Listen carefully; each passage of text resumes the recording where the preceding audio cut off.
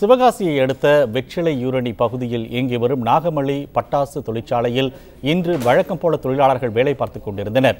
அப்போது பட்டாசுகள் தயாரிக்கும் பகுதியில் திடீரென தீ பற்றியது. அங்கு வைக்கப்பட்டிருந்த பட்டாசுகள் மற்றும் மூலப்பொருட்களிலும் தீ பரவி பலத்த சப்தத்துடன் வெடித்தது. இந்த அதிர்ச்சியில் மூன்று அறைகள் தரைமட்டமாகின.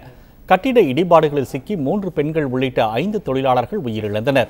இதனிடையே தகவல் அறிந்து வந்த தீயணைப்புத் துறையினர் தண்ணீரை பீச்சி அடித்து தீயை அணைத்தனர்.